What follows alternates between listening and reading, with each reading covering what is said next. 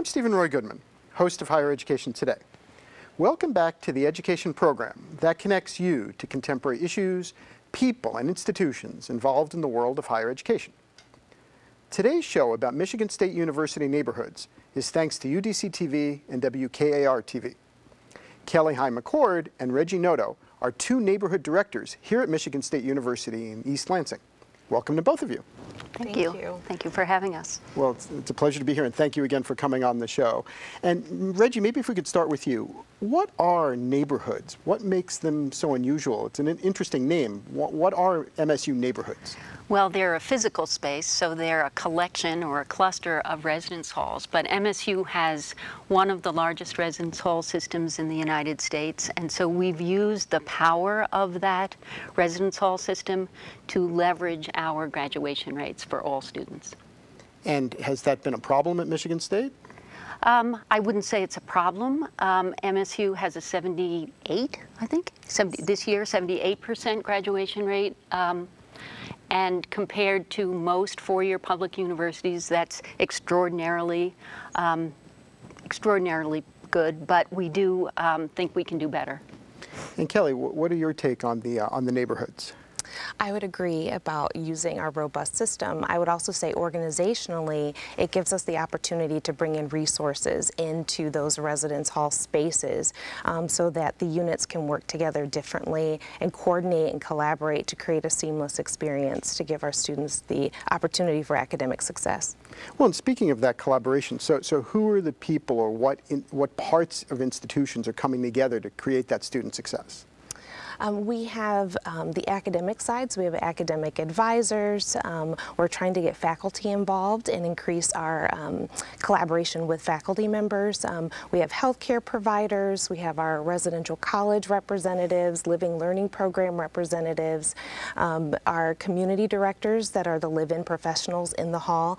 And so we come together as a team to talk about what's happening in our various units, our goals, what we're seeing with students in order to coordinate um, interventions for our students. Well, and speaking of the interventions, what are, if I can ask maybe both of you, what are the interventions that are typical interventions?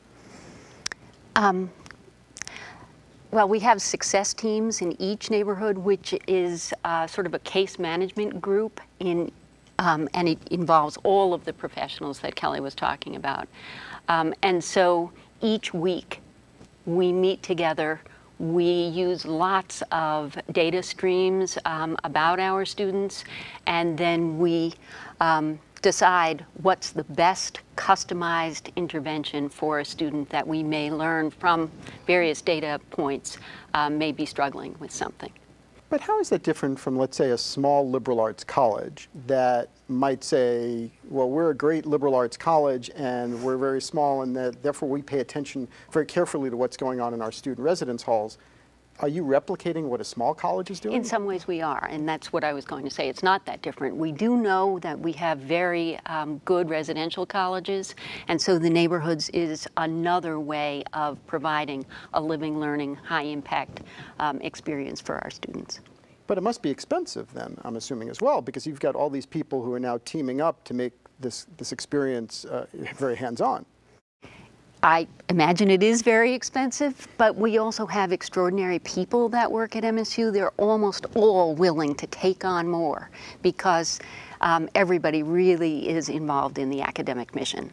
So would you have some advisors who are in the residence halls who are on one hand, maybe helping students find resources for academics, and then maybe on the other hand, helping students find resources if they're having psychological issues?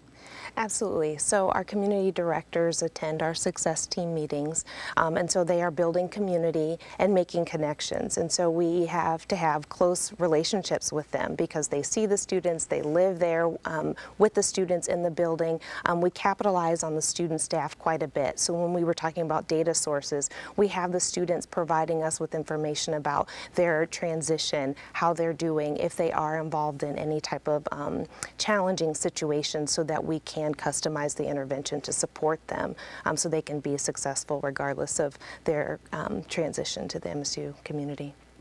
Well, that's interesting. You mentioned the challenging issues. So who is responsible for whom and whose fiduciary responsibility is to whom?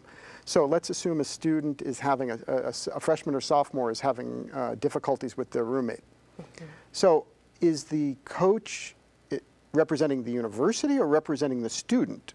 We, the student recognizes that they're an employee of the university, and we train them very well so that they know their role and their responsibility, and then when they need to refer to um, a full-time professional staff member. So um, we train them, you know, we don't train them specifically in mediation. We rely on the resident assistants and our intercultural aides to do that, um, but the coach could talk through, um, talk to the student and help them understand the resources that can help them manage that. They can be a listening ear, right, and support them, and then also to keep them on track to say, regardless of what's happening here, how can we still keep you on track academically? But what happens if they have to make a split second decision? So something is happening right now. It's, it's midnight and something bad is happening or about to happen, mm-hmm. and somebody has to make a very quick decision. What do you want the coaches to do in that, in that, in that instance? I think we would expect them to rely on their training. We choose them because we feel they have been successful. They've made um, good decisions while they're on campus. And again, we train the coaches to utilize the resources. So if there's a, a time when they need to rely on the residence hall staff, they will call upon them to do that. Um, and so, but I think they would coach the student to do the right thing and to utilize their resources.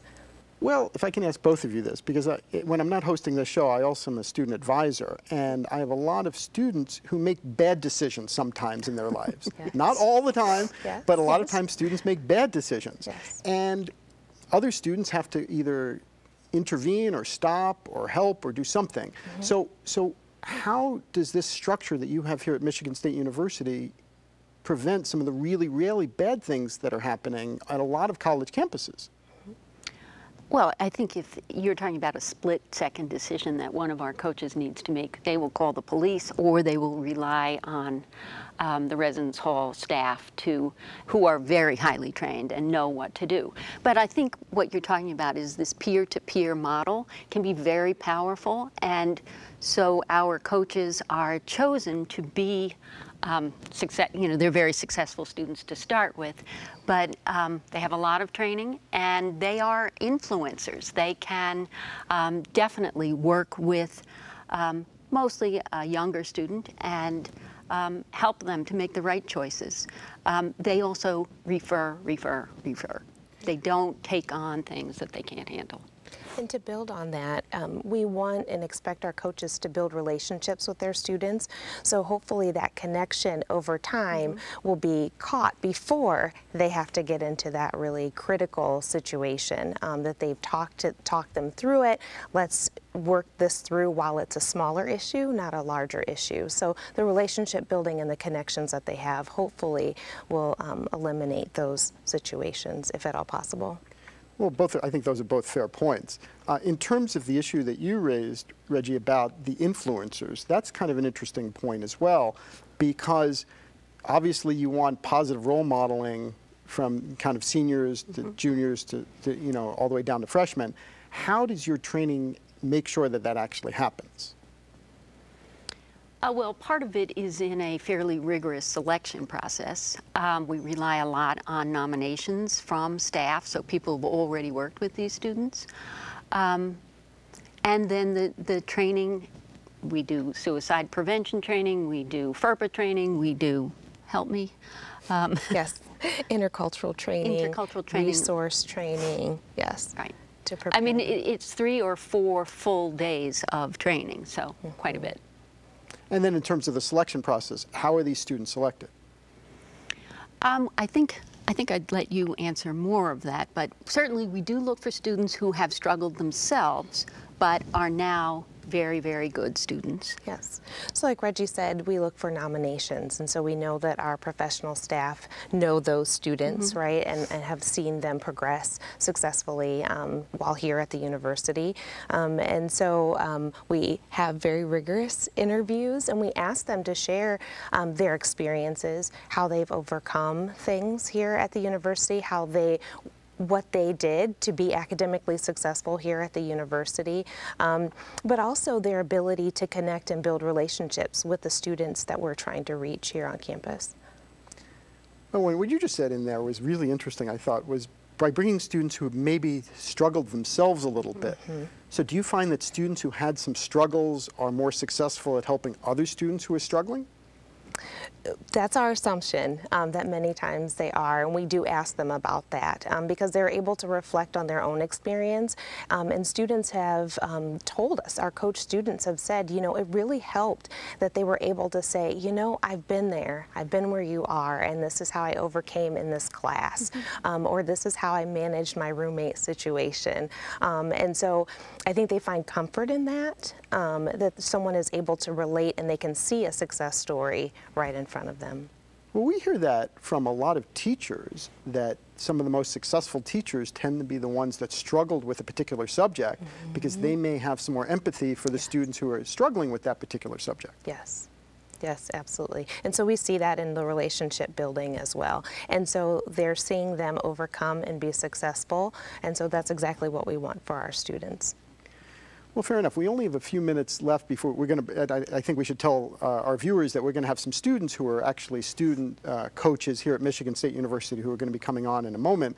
But is there anything else that either of you wanted to say about the initiative per se and why other universities around the United States or perhaps around the world might want to think about adopting some of this?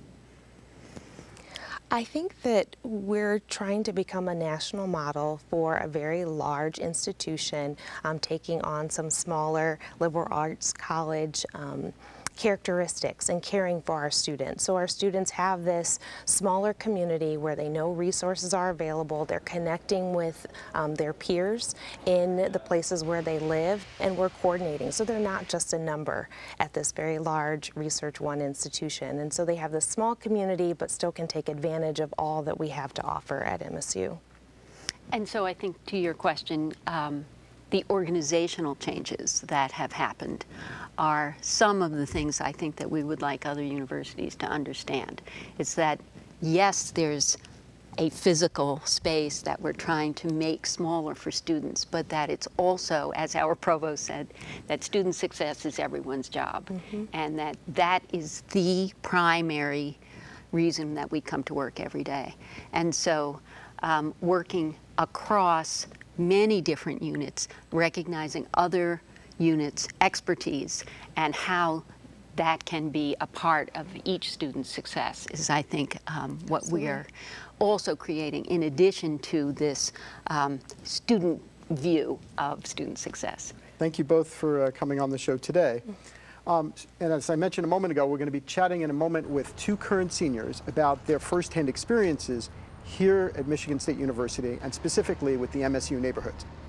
We're back with Autumn C. Johnson and Rachel D. King, who are both coaches here in the MSU neighborhoods. Welcome to both of you. Thank you. Thank you. Well, Autumn, maybe if we can start with you. Uh, what are the coaches and why did you become a coach? And what does it mean to your daily life? Well, coaches are essentially uh, mentors for first year students. They pretty much aid in the transition from high school to college because, as we know, that can be a rocky transition. And we like to focus on their social engagement and also helping them with academics. And you experienced this transition yourself, and now you're advising other students through that. That is correct. So my first year transition, it was a little rocky. It's hard to find your niche at a big university, but being at this school, I've been able to find my niche through the neighborhoods, and I just wanted to provide that for other students. And Rachel, how about you? Was there a, tran- a difficult transition for you as well? I was actually a transfer student from a community college, so I was more on the track with academics, but I had no idea what it was like to be on a university and a part of a big community like that. So the institutional navigation and socio-emotional engagement factors were like not so hot for me. And then as a coach, I was able to broaden my horizons and help students who were transitioning academically, and then we together were transitioning in terms of institutional navigation and the social emotional engagement because it's important to be a student coach because students we're going through the same things they are every day just at a different time frame so we have a little bit more um, wisdom i guess you could say with how the university works and it's very meaningful to be able to help them out in that way Well, I imagine that is so. And it, but particularly for, commu- for students who are transferring here from other schools, are there a lot of transfer students here? We do have a pretty significant amount of transfer students here, and it might seem like there's not as much for them, but the neighborhood centers are definitely there for them, and it's, it's nice to be able to help them realize that. Well, and speaking of the kind of niche communities, I think you raised the issue of the niche communities. In terms of the niche communities, there must be lots of niche communities here at Michigan State University, which is a very large place. There must be mm-hmm. students who are veterans, students who went to community colleges, students who perhaps struggled in high school, students perhaps who are athletes. Do you counsel them or coach them in different ways? I think everyone has a particular way that they need to be coached. Everyone's different, and that's something that we really have to take into consideration. So, some people may be introverts and maybe they don't want to join a million clubs, but other people, maybe they want to get out and venture out more. So, that definitely factors into our coaching styles. And you don't seem like you're an introvert at all. No, I'm not. So, so how do you coach introverts? Well, for me, um, it's really important for me to understand what they want from me and how I can best assist them.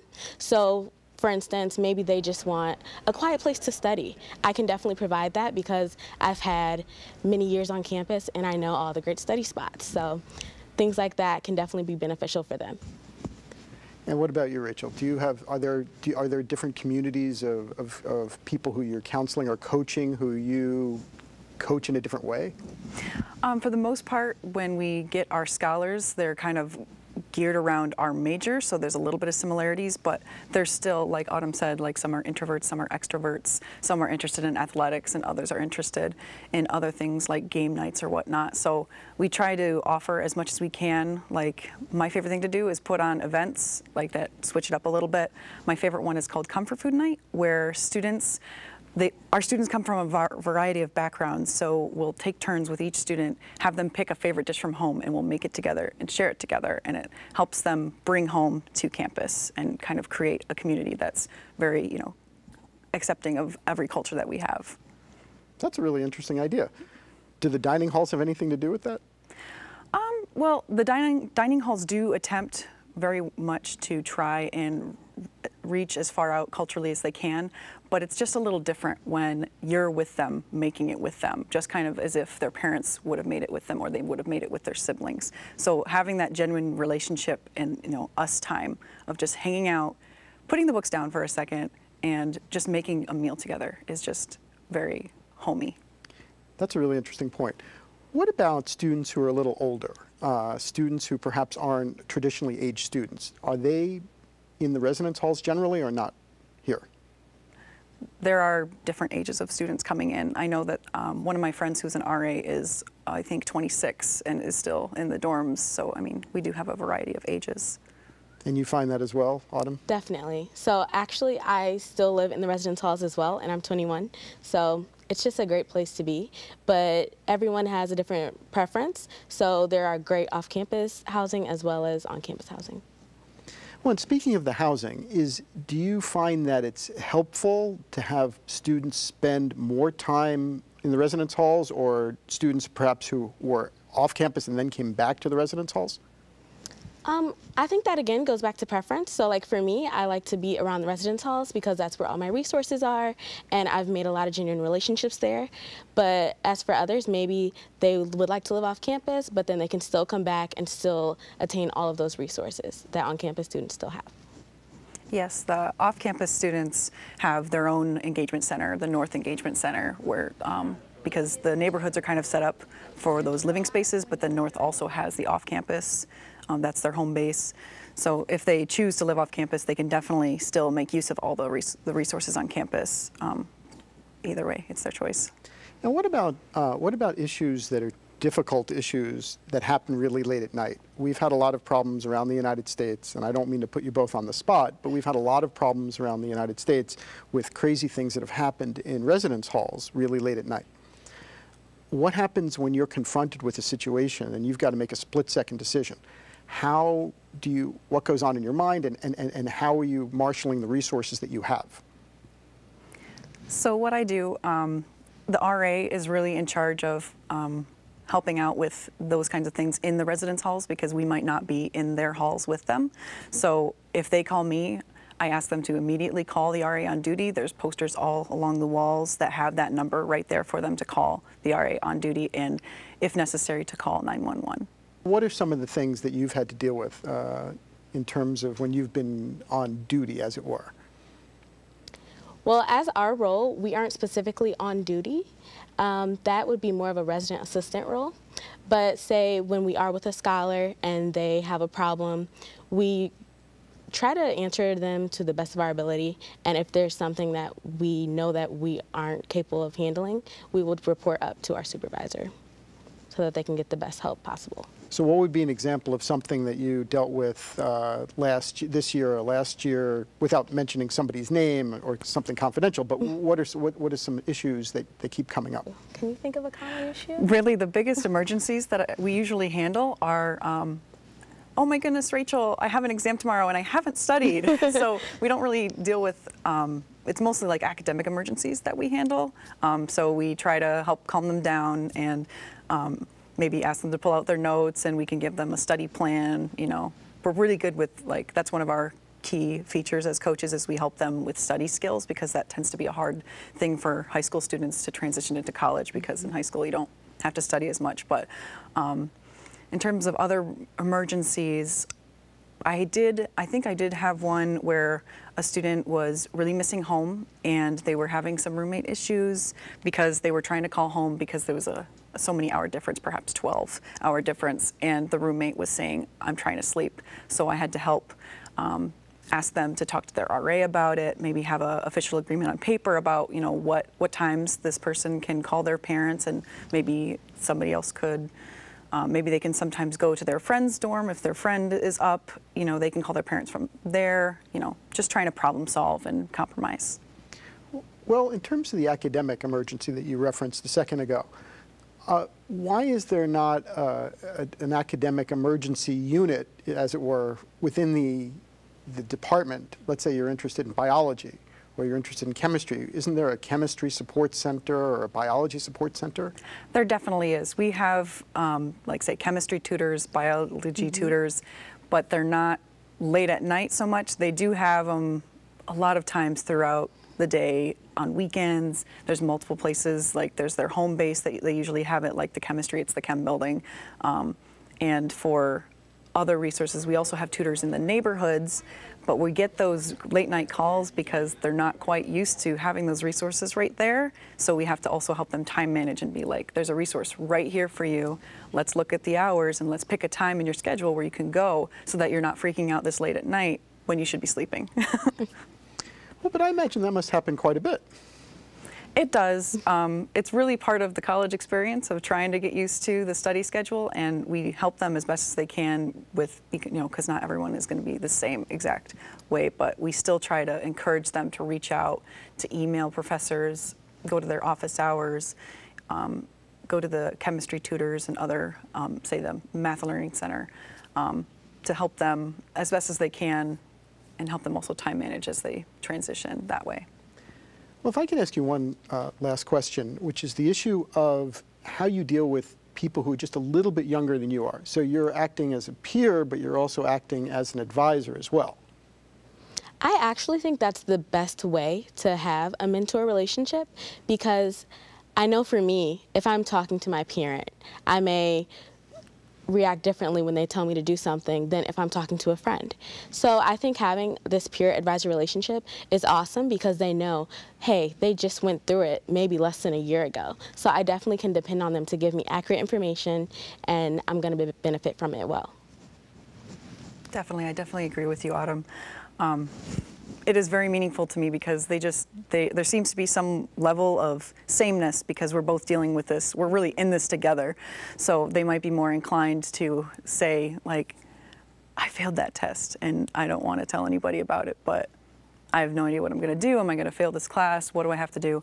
And um, having that ability to just be, them be able to say that is very meaningful as a mentor because now we know what we can do. We can help them, you know, plan, make a plan, you know, studying plan and whatnot, and meet with their professor, and we can go from there. But if there's not that level of trust, it's really hard to really help them in the way that they need. And what about if we can move to the social? How are you ad- advising students who are perhaps going through difficult social issues? We have comfort food nights and we have study tables. So we try to have them in their neighborhoods as much as possible so that say if we have an event going on, we can just go up to the room and be like, hey, want to come down? Like, how have you been? Let's go hang out for a little bit, just to give them a little nudge if they might be a little shy or whatnot, to try and, you know, break out of that comfort zone a little bit and meet some people, make some connections.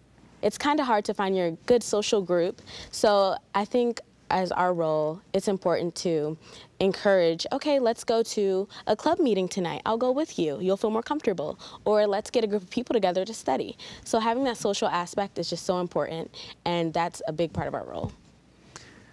We have a few seconds left. Anything you want to say to potential future Michigan State University students?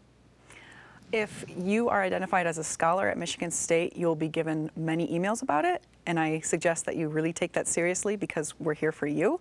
And if you're not considered a scholar, you can always join. You just um, follow the emails and the advertisements that are going to be posted out everywhere. And like we said, we're really here for you on a level that um, other mentors might not be able to because we're going through whatever you're going through right now, or we have other connections with other coaches that we can just talk to, like, hey, you just went through this, and I have a student that's going through this. Let's get through this together. Definitely. Peer mentoring is so important. So if you have someone who could be a peer mentor for you, definitely take that opportunity. Thank you, Autumn and Rachel, and thank you all for watching another edition of Higher Education Today. If you would like additional information about the Michigan State University neighborhoods, please visit liveon.msu.edu slash neighborhoods. If you have comments or suggestions about Higher Education Today, please send an email to our viewer mailbox at highereducationtoday at topcolleges.com. And thank you for watching. We will continue to bring you quality discussions about important matters in today's college and university world. Please join me again for another edition of Higher Education Today. I'm Steven Roy Goodman, and you've been watching Higher Education Today.